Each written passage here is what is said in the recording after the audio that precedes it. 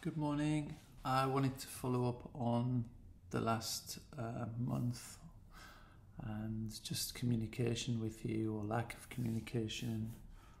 Um, like, I've been trying non-stop to contact you, voicemails, pictures of me with Ethan, writing to you every day, requesting just a call with Ethan, um, trying to share things with him, and it looks like now, it looks like with the one tick, it looks like you've cut me off. If you haven't blocked me and it's just a temporary connection thing, then I apologize for jumping to conclusions, but it it doesn't look good. And this action you're taking, it at best it looks unpleasant, at worst it looks somewhat sinister, and it's really it's not wholesome. It's not a good action, and I don't know what's going on with you. I don't know what's going on with your life.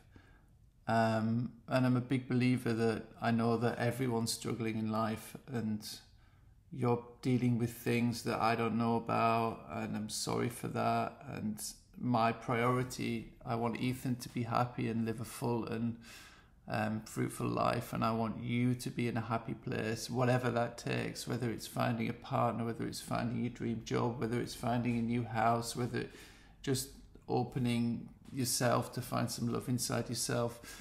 But I know that by cutting me off and not replying to me, I know that that's absolutely nothing actually to do with me because I can see these traits from the past inside myself. I know that by taking this action, by taking this negative standpoint and cutting me off like this, this is because you're dealing with things inside of yourself that you don't want to deal with, whatever that those fears are, whatever those traumas are. I know they're present I recognize that in myself. It doesn't make me better than you. We're all just struggling through life in our own way. And like I said, my priority is connecting with Ethan. And all I've been asking is a 10 minute call once a week with him as his father, and he is my son. And that will be until the end of our days. Um, and I want to be a beautiful father to him. I want to connect with him. I want to talk with him. I want to laugh with him. I, I, I want that connection that, you know, is present with us here on earth, you know. He is as much part of me as he is part of you. And no matter what you do, no matter what you think, cutting me off, it doesn't make any difference. And what I do not want is for you to choose this action from this place of fear and negativity within yourself to cut me off like this for no reason. I've only ever been positive, provided for Ethan, give money for Ethan, give love to Ethan. Every time I see him, I'm full of love. I enjoy the time with him. He enjoys the time with me. There's never been one iota of negativity or malpractice or anything bad with me and Ethan. Together we're perfect. We've always been perfect. What I do not want is for you to choose this route. For whatever reasons you have, please talk to me about it. I know you're not a very forthcoming person with regards to talking, and it's always been that way, and that's fine. That's the way you are. If that's how you want to be, that's totally fine. I forgive you. I love you. That's fine. But I do not want time to go by, and in time, Ethan has questions and questions, and he'll always have questions, and he'll come to me no matter when that is. And I do not want him to turn against you. I do not want him to resent you for doing this. But believe me, it, it could happen. I would do everything in my power for him to, to for that not to happen. I want him to love you. I want him to cherish you as his mother. You've been amazing for him. He's been in your life. You know, you you have got the closest connection, and I don't want anything to come between that. I don't want me to come between that. I don't want anything to come between that. I never want any problems there. But if you choose this action, he could resent you for this. You have to see that. You have to open your mind and open your heart and realize that this is possible to happen because all I'm asking is that I have a regular call with him. It's so simple, it's such a small thing, and yet you seemingly refuse this. You don't answer my messages, you don't want this contact with him, and that's coming from fears inside yourself, insecurities inside yourself. I remember when I used to come to your house and I don't know, it's seemingly you've been running your whole life. I was running. That's why when we were together, we were both running from our minds. We couldn't talk to each other. We were both full of fears. I see that. When I came to your house, I would see um, how I would be with Pete and your mum, and not once would any of you ever mention your father, God rest his soul, since his passing. And it, it showed to me maybe you've never grieved him. Maybe, you know, it was like he never existed, but, you know, the fish tank was there, the garden was there, the pond, his models in that room. It was like he never left. It was like he'd never gone. And it was like none of you ever wanted to deal with his passing. And God rest his soul. I'm sure he was a beautiful man. And my heart goes out to you all. But by cutting off and being these closed book, and I understand your mother's that way, I understand many people are that way, and I understand why you are the way you are. I am the way I am because of my mother and father pr- primarily, but I've been working deep on myself with meditation, with plant medicines in as many ways as possible to try and heal myself from my sick mind. We're generally very sick. In society, as people, as a collective, this is the way it is. And this is the way I've been, and I'm trying bit by bit to become better, more open minded, more loving, more compassionate.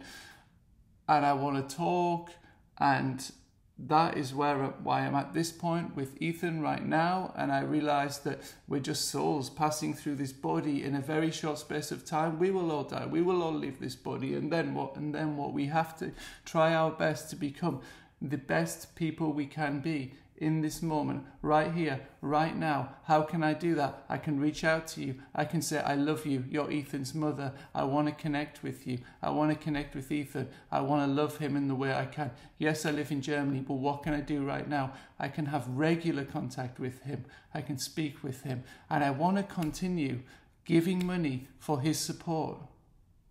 I want to continue to connect with him in the best way possible. But what you're doing, you're backing me in a corner, you're pushing me away like this. How do you expect me to pay you money for Ethan's support when I can't even speak to him? I will give money to him, but I will, I, I'm happy to give money to him.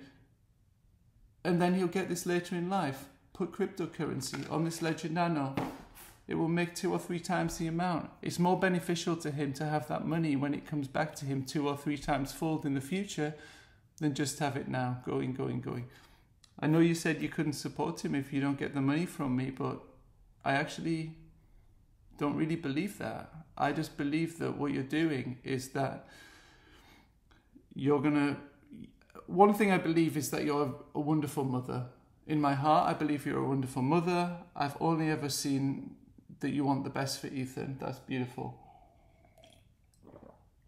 And he won't go short if I put money on this and he gets it later down the line, uh, as I would do regular payments, I can I can put it into cryptocurrency and that's fine. That would be more beneficial to him in his life than by me giving me the money now and not putting money on the ledger nano.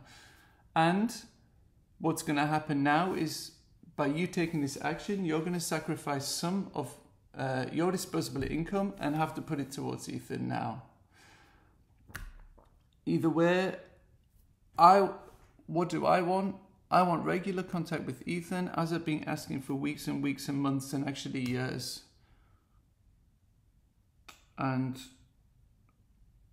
I accept whatever your decision is. If you want to completely cut me off, if you don't want me to have access to Ethan and speak with him, then I forgive you. With my heart open, I forgive you and I love you and you're Ethan's mother and you're a big part of our lives and you always will be. And I'm here and I'm always here until the end of my days here on earth.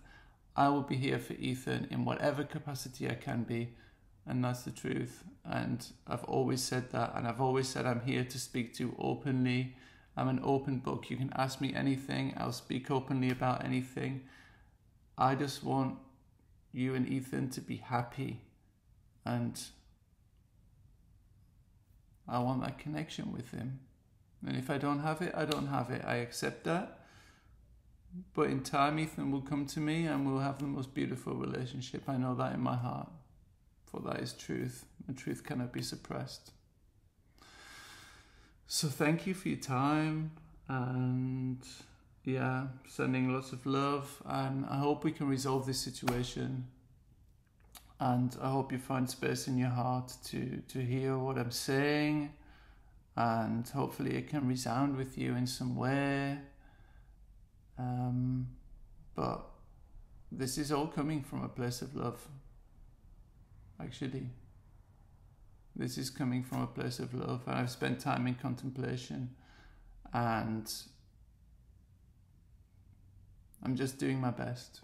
So all I ask with my heart open is that you can do your best for Ethan as well and recognize that contact with me as his father is the best for Ethan as well.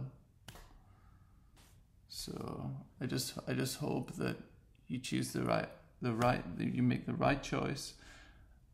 Otherwise, I feel like it could come back so strongly with trauma for him. You know, the absent father trauma. It could come so strongly with him, and we're going to have to work work deeply and to really help him in the future if that's so. But find the love. Okay, take care of yourself. Hope to hear from you soon.